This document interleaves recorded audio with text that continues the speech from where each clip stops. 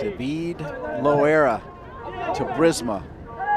Now back to David Loera. David Loera going around Campbell players. Brisma across Machado!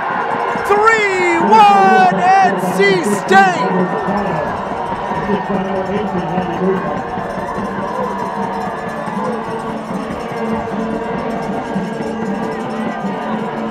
Well, the officially finds Machado. Look at this. Loera gets around him. Here he comes and plays this ball into space for Brisma. Brisma knows that Machado's waiting, and that's the easiest goal he's going to score all year. NC State is in the drive.